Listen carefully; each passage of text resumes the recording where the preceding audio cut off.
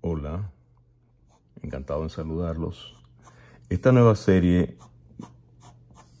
en la que tengo mucha ilusión va a tratar del dibujo artístico sin ningún tipo de eh, reserva y abocado exactamente a lo que es sin excusas.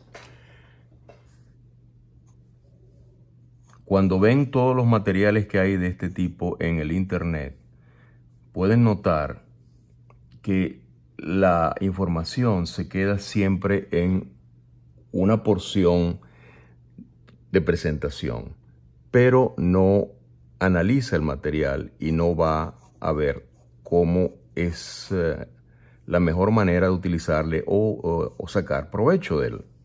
Entonces, en esta serie de dibujo artístico, sin velos, sin ningún tipo de excusa, vamos a eh, desarrollar lo que podemos eh, catalogar como la verdad del dibujo artístico. No es mi verdad, es una verdad que está allí latente desde hace cualquier cantidad de tiempo y que se ha trastocado muchas veces pero que finalmente podemos decir que hay una verdad y hay unos materiales y hay una manera de utilizarlo. Estamos hablando de la parte técnica.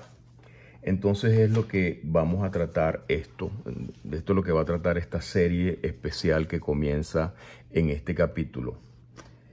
¿Qué es dibujo? Básicamente pues eh, es una imagen plana formada por una materia colorante y esa va a ser precisamente la primera porción de esto que vamos a tratar de aclarar para todos ustedes.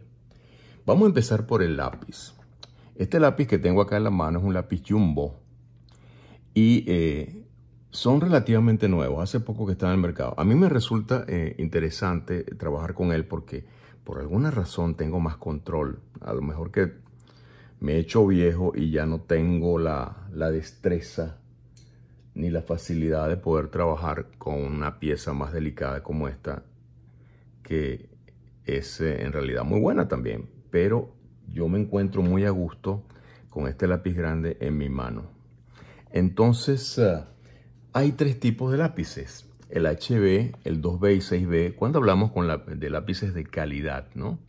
Entonces, el HB es el lápiz que tú vas a utilizar para comenzar a dibujar puedes borrarlo con facilidad y eh, te da unos grises que son fríos, se llaman así, ¿verdad? Porque es la tendencia que tienen. Entonces vamos a, vamos a ver eso con detalle, ¿verdad? Vamos a meternos acá, afuera, porque no nos vamos a complicar la vida haciendo una cosa eh, difícil al principio. Eh, la manera de agarrar el lápiz es así dentro de la mano, como si fuera una espada. ¿Ves? Trata de utilizar la muñeca, el antebrazo, el brazo, pero particularmente el hombro, que mucha gente no lo hace. El asunto es que al hacer una cosa como esta, ¿verdad? Para visualizar el gris, en este caso el gris del HB, no se trata de apretar, se trata de repasar dentro del área, ¿ves? Eso. Y el gris del HB, si te das cuenta, si lo hacemos sin repasar, sino extendiendo el gris, es un gris bastante frío, ¿ves? Es decir, que es un gris que no es cubriente, que no es poderoso, es un gris suave, inclusive más suave que el que produce el lápiz eh, número 2, que generalmente usamos toda la vida cuando somos pequeños y vamos a la escuela. El 2B, vamos a marcar esto acá para que no se nos olvide el HB, ¿verdad? El 2B es un lápiz blando, dos veces más blando que un lápiz eh, regular. Ya al colocar el trazado acá, tú te puedes percatar que definitivamente mancha muchísimo más que el anterior y el gris que te da es realmente poderoso, ¿no? Comparado con el anterior. Y si lo extendemos en su gris normal, ya te vas a dar cuenta que no es como el anterior tampoco. Es decir, este gris que está produciendo el 2B es un gris cálido, gris frío, gris cálido. Esto es muy importante, más importante de lo que se imaginan. Y lo vamos a ir descubriendo a medida que vayamos avanzando en esta serie. Entonces el 2B, Es un lápiz que es cálido. Y por último, el último de la secuencia es el lápiz 6B. Seis veces más oscuro que cualquier otro lápiz. Y aquí lo vamos a colocar. Ya se dan cuenta que inclusive es más oscuro, mucho más oscuro que el 2B. Entonces ya no es cálido, es extra cálido. Y este es un lápiz con el cual puedes hacer un trabajo excelente. Mira al extenderlo como del gris, ¿ves? Un trabajo excelente en los acentos. Más que todo en los acentos, ¿ves? Y se usa de esa manera. Entonces, con el HB, ¿verdad? Tienes un lápiz semiduro, no es duro, es semiduro.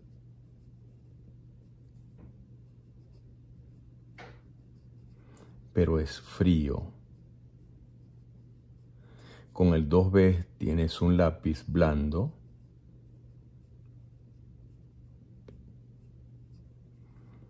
y es cálido. Con el 6B tienes un lápiz extra blando.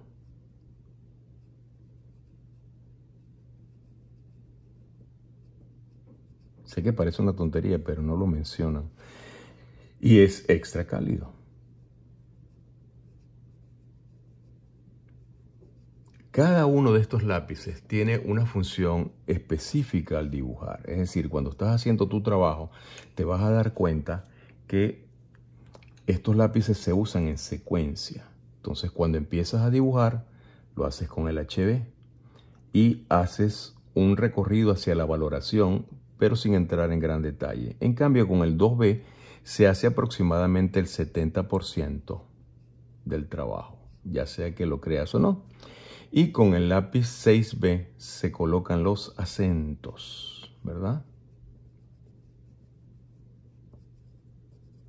Así que estos son los tres lápices que vamos a utilizar para trabajar. Si necesitas borrar, hay varias opciones.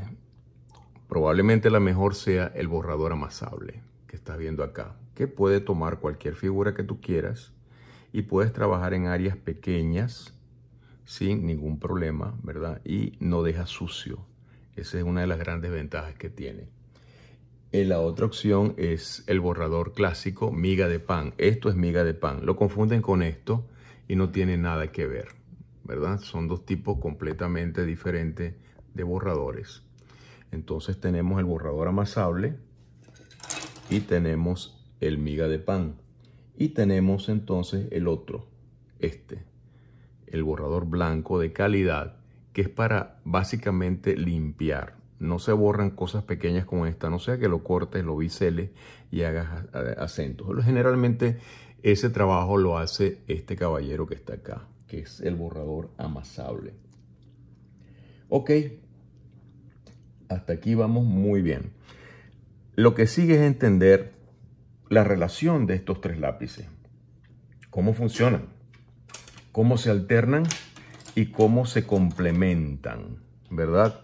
Entonces acabas de ver en estos barridos iniciales que yo he creado una relación de valor. Esto es lo que es un valor, ¿ves?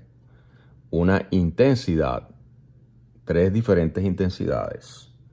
Entonces voy a empezar a hacer un barrido diferente ahora. Un barrido hecho primero con el HB Quédate conmigo que aunque parezca fastidioso, te vas a enterar de muchas cosas que probablemente no sabías. Y a medida que avance te vas a dar cuenta lo interesante que son. Entonces en este barrido inicial que estoy haciendo con el HB, voy a tratar de crear una banda, una banda uniforme, ¿verdad? Que se va a desplazar hacia la derecha, pero a medida que me desplazo hacia la derecha, la intensidad es menor hasta hacerla desaparecer. Repito, No se trata de afincar el lápiz, sino de repasar suavemente, ¿verdad? Uniformemente, lo más uniformemente que te sea posible. Y eh, así avanzas hasta llegar al blanco. Ahí me pasé. Debe ser gris y blanco. Vamos de nuevo, porque me interesa que quede bien claro el barrido, ¿ves? Ahí va, menos, menos, menos, menos, menos, menos, menos, hasta desaparecer en el blanco. Eso es lo que te da el HB naturalmente. Vamos a aumentar esto para que veamos el detalle. Así. Entonces, ahora con el 2B vas a repetir sobre el HB. De nuevo, no trates de afincar el lápiz a un barrido.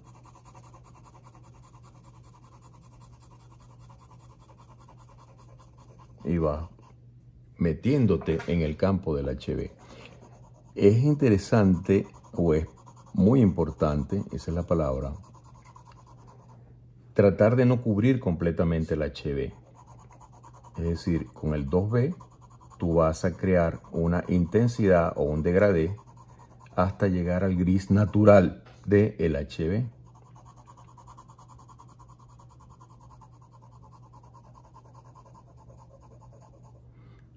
Te das cuenta entonces cómo estás consiguiendo una transición. Eso es lo que se llama transición. Me voy metiendo un poco ahí, pero no hago mucho. Realmente me quedo más de este lado, ¿ves? Más de este lado. Ahí empiezo a perderlo y ahí desaparece porque, como te digo, quiero preservar el HB. Ahora viene el 6B. Entonces con el 6B vas a hacer lo mismo. Pero te vas a quedar un ratito acá porque yo quiero que esto se convierta realmente en algo muy oscuro. ¿Ves? Entonces no uso el lápiz con fuerza, solo lo repaso en el área y me voy desplazando hacia la derecha suavemente hasta llegar al gris natural del 2B y no lo voy a cubrir. ¿Ves? No lo voy a cubrir, me quedo acá, transición y hago esto. Cuando tengo esto, tengo una transición más o menos completa, pero que puedo mejorar. Entonces, para que nos quede claro, yo voy a cerrar estos valores acá, como dentro de una banda, ¿verdad? Y los voy a separar por espacios, ¿ves? Este espacio, este espacio, y así consecutivamente hasta llegar a los últimos espacios. Hasta acá tengo 1, 2, 3, 4, 5, 6, 7, 8, y 9. Te preguntarás por qué puse ese. Bueno, porque el blanco es el que termina la secuencia. Entonces ahora yo voy a ajustar los valores. El 6B,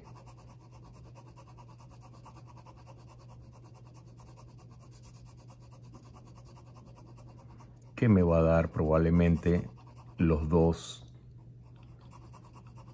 o tres primeros esquemas de valor.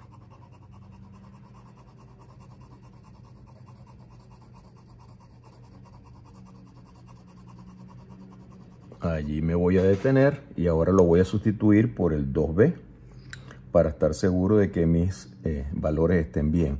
Empiezo en este y me voy desplazando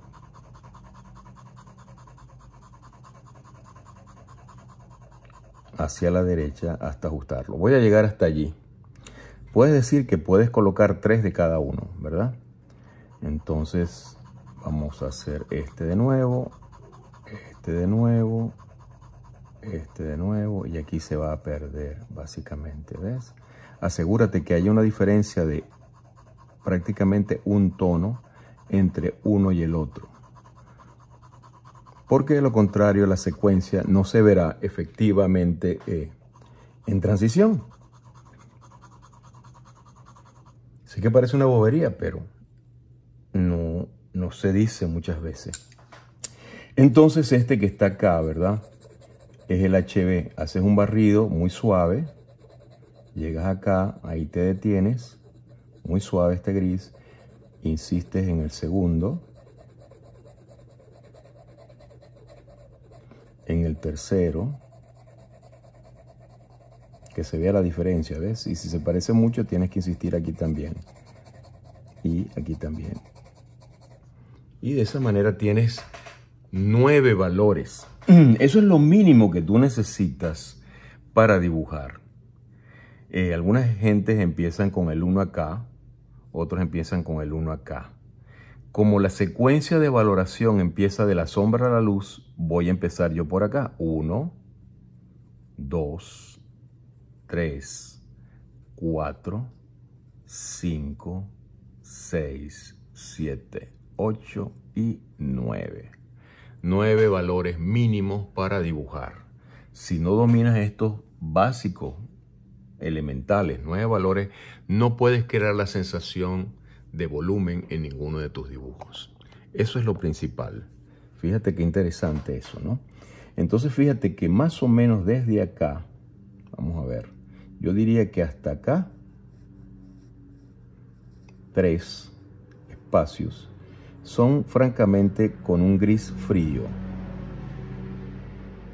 Los siguientes tres espacios son un gris cálido y los dos finales son un gris extra cálido. Correcto. Entonces quiere decir que estos tres grises pertenecen al estado de transición hacia la sombra más oscura. Estos de acá para acá pertenecen a los medios tonos y estos en transición hasta llegar a la luz. Así que tenemos una secuencia de valor bien clara. Nueve valores realizado con tres lápices HB, 2B y 6B. ¿Ok? Vamos entonces a eh, continuar. Lo que sigue es entender que hay diferentes tipos de papeles cuando tú vas a trabajar con lápiz. Antes de hacer la, demostración del claro oscuro, yo voy a mostrarles varios tipos de papel que ustedes pueden adquirir. Eh, el papel de dibujo normal, o sea, barato, eh, sirve para, para practicar. Esencialmente eso es lo que se hace con este tipo de papel, ¿verdad? Practicar. Y eh, están bien porque es un papel con el que se puede trabajar sin problemas, ya que es bastante económico. Ahora, un papel de calidad sería este, que se llama Berjurado, de, como se lee Ingre, se pronuncia Angre, y es de la gente de Guarro. Lamentablemente este papel solamente se puede obtener en España, eh, probablemente en algunos países de América Latina, pero no es posible obtenerlo en los Estados Unidos, ya que por su calidad acabaría por desplazar a los que están dentro del mercado. Ya sea que lo crean o no, esa es la razón. Yo he hablado con la gente que distribuye los papeles y esa es la razón por la que no lo dejan pasar. Porque no se puede competir con este papel, así de simple, ¿verdad? Entonces en este papel yo voy a hacer una pequeña demostración para ustedes. Vamos a utilizar el lápiz HB para empezar a hacer el trabajo. ¿ves? Entonces agarras el lápiz, vamos a crear suavemente, ¿ves? Esta forma. ¿Qué es esta forma? Bueno, una esfera muy suave, ¿ves? O sea que no se raya el papel, no se hacen trazados. Eh, no uso la palabra línea, nótenlo porque no, no me gusta el concepto, porque no te permite entender el volumen. Y yo no uso la línea así, yo uso el trazado, por lo que la mayor parte de la gente entiende como línea. ¿Ves? Y entonces estoy haciendo el trazado para encontrar o posicionar los elementos que voy a dibujar. Voy a colocar esta esfera dentro de, un espacio que está eh, marcado por la superficie de la mesa. Muy sencillo al principio, no tiene mayor problema como ustedes pueden ver. Eh, a medida que vayamos trabajando me voy acercando. Entonces ahora que tengo esto, me ocupo de eh, concretar el espacio. Es decir, dónde está la esfera exactamente. ¿Ves? Con un poquito más de intensidad y empiezo a tratar de constatar si efectivamente es redonda. ¿Cómo? Pues tomando el ancho y tomando el alto y sí, está dentro de lo que debe ser. Me quedó bien, no está mal. Eh, casualidad. Vamos a decir que fue una casualidad y me quedó donde debe estar. Aunque siempre dice la gente que no es casualidad, que, que eso es que la práctica, y por eso creo que tienen la razón, eh, te permite hacerlo de esa manera. ¿Ves? Estoy concretando la forma y voy a empezar a pensar que la luz está llegando desde la izquierda hacia la derecha de esta manera. Así que la mitad de la esfera, probablemente acá, empieza a oscurecerse hasta llegar a la sombra que ésta proyecta. ¿De qué tamaño es la sombra? Bueno, si trazas dos diagonales así, cruzando de arriba hacia abajo, ¿ves? Ese sería el espacio de la extensión de la sombra. O sea que la sombra estaría aquí, se movería hasta acá. Yo te recomiendo que lo dibujes conmigo porque te vas a sorprender de que te va a quedar bastante dentro de lo que debe ser. No te voy a decir que te va a quedar perfecto, pero sí te vas a dar cuenta que tu dibujo se ve bien. Entonces fíjate aquí con el HB yo empiezo a separar algunos valores básicos. ¿Te acuerdas de los trazados que hicimos antes? ¿Ves? Entonces el primero de lo que estoy haciendo es un gris frío. Solamente me va a servir para verificar la posición de ese espacio de la esfera. Entonces vamos a agrandar esto para que se vea bien. Y no me pierdas pisada porque no quiero que, que te pierdas en el camino. Entonces yo sé que la luz va a pegar acá. Y yo sé que esta es la única parte que yo no voy a tocar con la luz con, el lápiz, ¿ves? Lo voy a dejar reservado en mi mente. Y voy a empezar a bloquear toda esta parte de acá, porque yo sé que la sombra va a aparecer allí. Fíjate cómo lo hago. No lo hago gradualmente, no lo hago de golpe, ni lo hago afincando el lápiz. Si lo hiciera de esa manera, voy a tener un gran problema porque voy a dañar el grano del papel. Y si eso ocurre no se puede reparar y me va a quedar el dibujo marcado, no me va a quedar nada bien. En el dibujo hay que tener delicadeza, ¿ves? De lo contrario, no puedes desarrollar sensibilidad y estás lejos de producir arte de esa manera. Entonces ahora vamos a bloquear, así se llama, cuando estás cubriendo un área con un valor. Un valor general de gris, ¿ves?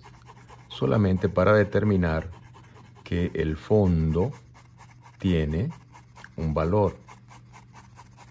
Puedes usar trazos en diferentes direcciones, como puedes ver. Sin embargo, lo único que no puedes hacer es utilizar trazos que se vean, que se marquen, porque no los puedes corregir. Tendrías que poner mucha cantidad de grafito para eh, crear el efecto de uniformidad y no vale la pena. Tú puedes hacerlo sin necesidad de eso. No quiero en ningún momento sobretrabajar nada. O sea que estoy simplemente planteando, y esa es la palabra exacta de esto, planteando un valor, ¿verdad? General. O sea que el HB te sirve para eso, para eso que estás viendo allí. No te va a servir para hacer un dibujo perfecto, pero te va a dar unos grises sutiles, sutiles que puedes tú utilizar y que puedes eh, manipular como te convenga. No te preocupes tanto por el contorno, porque el contorno se va a dibujar a medida que tú avances en el dibujo. Entonces ahora con el 2B, aquí he cambiado el lápiz para 2B, yo voy a comenzar por dónde? Pues por la parte que yo sé que es más oscura, que debe ser el único lugar donde la luz no aparece de ninguna manera. De nuevo, no voy a tratar de ajustar el valor, no todavía. Solamente voy a separar la luz de la sombra. Repito, en la primera porción de tu dibujo, lo más importante es determinar dónde está la luz y dónde está la sombra. ¿Ok? No trates de hacer detalles porque no funcionan, no se ven bien, se escapan fuera de control y luego tienes que reparar. No vale la pena. ¿Ves? Entonces aquí estoy remarcando lo que hice con el HB, pero esta vez con el 2B. Y empiezo a ajustar el gris, en este caso desde afuera, ¿ves? No voy a hacer la marca del trazado oscuro alrededor de la esfera, no. Lo que hago es cerrar el valor que rodea la esfera, ¿ves? O sea que el valor que está detrás de la esfera es más oscuro que la esfera. Y entonces empiezo a separarlo de la esfera, ¿ves? Hasta que desaparezca esa sensación de trazado que puede ser descrito como línea en, los tratados de dibujo. Cuando usas la línea o el concepto de línea se establece, se hace plano todo. Se hace plano en tu mente y se hace plano en tu dibujo. No lo sé, no sé por qué, pero así funciona. Yo prefiero decir que estoy haciendo una valoración a través del trazado, ¿verdad? Y separando las áreas de valor, es decir, donde hay un gris, donde hay otro, etcétera, etcétera, pero sin la raya. Si yo pongo la raya o la mal llamada línea, ¿verdad? Entonces va a ocurrir que se va a ver plano. Voy a evadir la sensación de realidad. Tal vez tú no estés interesado en la sensación de realidad. Entonces hazlo que se raye. Pero no queda bien, no se ve bonito. La verdad se ve bastante mm, básico. Se ve muy, muy básico. Entonces esto que estás viendo acá es una separación de valor, ¿ves? Entonces estoy logrando la redondez, pero sin el, el trazado oscuro alrededor del objeto. Hago lo mismo del otro lado, haciéndolo con mucho cuidado para mantener la forma, ¿verdad? Manteniendo la forma con el gris y determinando el espacio que éste va a ocupar. Yo sé que esto no es excitante, que es más divertido dibujar una cara o dibujar un cuerpo humano o un paisaje, lo que tú quieras. Pero sabes qué? que aquí está todo lo que necesitas aprender para poder hacer lo demás. O sea, si tú logras dominar esto, yo te prometo que vas a ser capaz de dibujar prácticamente cualquier cosa y de valorarlo también. ¿Por qué? Porque todas las formas que nos rodean están sustentadas sobre un patrón geométrico. Es decir, la combinación de las formas geométricas, es lo que significa eso, puede eh, derivar en la descripción de prácticamente cualquier objeto que podamos imaginar o visualizar. Entonces, de las formas geométricas que son abstracción pura, eh, podemos nosotros entonces obtener formas complejas que te van a permitir eh, prácticamente, como te dije, dibujarlo todo. Sigue usando el gris, sigue envolviendo, ¿ves? Suavemente y sigue tejiendo, tejiendo el fondo con este valor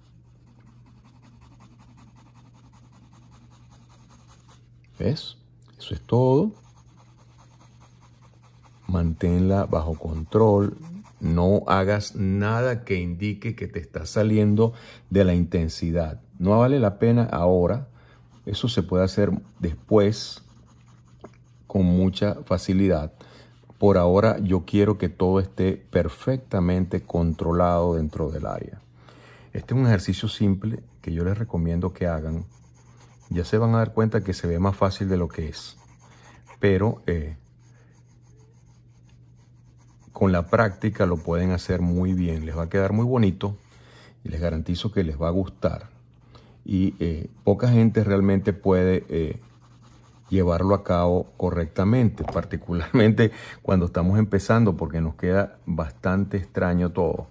Pero a medida que va pasando el tiempo y tú sabes y tú continúas practicando, eh, te va a quedar mucho, mucho, mucho mejor. Y, te va a gustar, te va a gustar porque eh, te va a satisfacer los sentidos. Va a decir, mira, se ve redondo, se ve pesado, tiene densidad, ¿verdad? Todo ese tipo de cosas. Fíjate ahora que hemos separado la sombra del o el valor del background de la esfera y yo insisto un poquito más por este lado hasta ajustar el gris y ahora nota que la esfera se ve más redonda, ¿verdad? Y no tuve que hacer eh, el contorno oscuro que generalmente todo el mundo hace. No se hace eso, ¿ok? Eso no se hace. Si no quieres, si quieres obtener un efecto de realidad o realismo, no lo hagas. Si quieres, si no te importa ese efecto y tú quieres que se vea el trazado, ok, hazlo, no hay problema. Cada quien decide ¿qué es lo que va a hacer? Estás en perfecto control porque ese es tu dibujo y tú eres la persona que decide cómo lo vas a hacer, no hay problema ninguno. Entonces voy a insistir de nuevo acá, de nuevo, con mucho más cuidado y voy a hacer el trazado que corresponde a esta área. Fíjate que esto es interesante porque de acá para acá, ¿verdad? Del el borde hacia afuera, tú ves que es oscuro. Y de, en esta parte donde no hay oscuridad, del borde hacia adentro, es como se hace más oscuro. ¿Ves qué interesante? O sea que cambia la dirección del el valor. O sea, de acá, en el borde que tiene el fondo oscuro, aparece el valor. Acá, donde esta parte es más clara, el valor aparece adentro de la esfera, no afuera. Y tú empiezas a rellenar ese espacio, ¿ves? Para que se vea esta separación con respecto a lo que está atrás. Pero tampoco lo vas a hacer marcado, ¿ves? Tampoco. Y sigues haciendo tu espacio tranquilamente allí y vas a hacer lo propio de este lado, ¿ves? Vas a colocar el lápiz de lado, moviendo el brazo hacia afuera, el codo hacia afuera, y entonces comienzas a hacer este gris hacia adentro, ¿ves? Si te pasas o algo no importa porque tú vienes después con el borrador amasable y lo arreglas, no hay problema. Entonces acá vamos a diferenciar otra área interesante. Esta es la parte de la esfera donde se separa visiblemente, más que en ninguna otra parte, la luz de la sombra. ¿Por qué? Repito, la luz está cayendo de izquierda a derecha. Entonces lo que tú tienes que hacer ahora, ¿verdad? Es bloquear, es decir, cerrar el valor